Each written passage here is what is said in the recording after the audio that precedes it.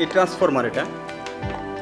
এটি দিয়ে কথা বললে, এই লেজার লাইটের আলো যত দূর পর্যন্ত যাবে, ওই জায়গায় কার হাতে রিসিভার থাকলে সে কথা শুনতে পারবে। আবার ওই জায়গা থেকে আরেক লোকের কাছে ট্রান্সফরমার থাকলে, এই জায়গায় আমার কাছে রিসিভার থাকলে আমিও শুনতে পারব।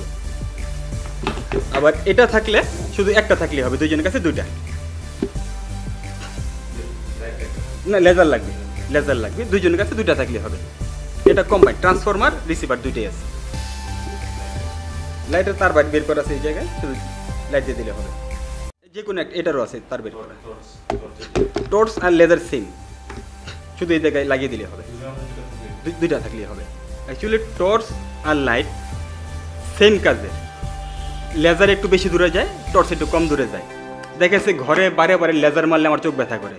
তাই কারণে প্র্যাকটিস করার সময় আমি টর্চ দিয়ে প্র্যাকটিস করি। আবার এটাতে কাছাকাছি দূরত্বে কথা বলা যাবে। আজকাল মার্কেটে অনেক শক্তিশালী টর্চ পাওয়া যায়। অনেক দূর পর্যন্ত আলো যায়। এটা হলো প্রত্যন্ত অঞ্চলের এলাকা।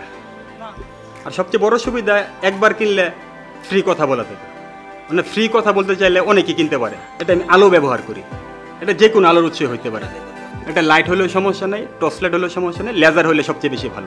যত শক্তিশালী আলোক রশ্মি, তত দূরে কথা বলা যাবে। এগুলি আবিষ্কার বলা চলে না। দেখা গেছে, জন শুনলাম যে বাচ্চা কিছু একটা ধরার ক্ষমতা অর্জন করছে। তখন তার জন্য যেন ওই মোবাইলে টাচ করে খেলা চালাতে পারে। ওরকম তৈরি করছি। আবার যখন শুনলাম না, সে তো টাচ করতে না, এখন চাপ দিতে পারে।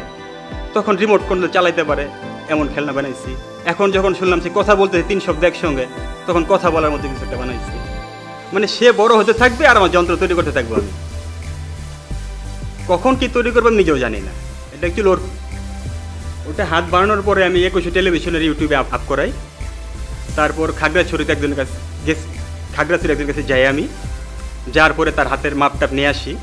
কিন্তু পরে দুই মাস লকডাউন শুরু হয়ে যায়, আর যাওয়া হয় না কাজ করে যাব, কারও প্রয়োজন লাগলে আমায় যোগাযোগ করলে তাকে আমি দেবো। কাজটা হলো, এই জায়গায় আমাদের মাংস পেশি আছে। এইসবের মাছকে সে বুঝে নেবে যে কখন ধরতে হবে, কখন ছাড়তে হবে। আপাতত এই মুহূর্তে নাই। আপাতত আমি কেউকার ডং যাব কেউকার ডঙ্গি, আমি পাহাড়ে, এক পাহাড় থেকে আরেক পাহাড়ে কথা বলার চেষ্টা করব। ওটা হয়তো এক দুই মাস পরে। আর আগামী সপ্তাহে যাব ব্রহ্মপুত্র নদীতে।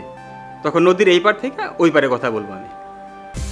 কম্বাইন বানাই আর আলাদা আলাদা যেভাবে করি, এই প্রায় দুই হাজার টাকার মধ্যে গেছে আমার। দুই হাজার টাকা। পর্যন্ত অ্যাকচুয়ালি বাচ্চা যখন যেটা খুশি হয় ভাইবা কাজ করতেছি। এখন পর্যন্ত বাজারজাত করার চিন্তা মাথায় মাথায় আসেনি। ভবিষ্যতে করতেও পারি। যদি জনগণের প্রয়োজন মনে করে জনগণে যোগাযোগ করে ওরকম বুঝলে করব।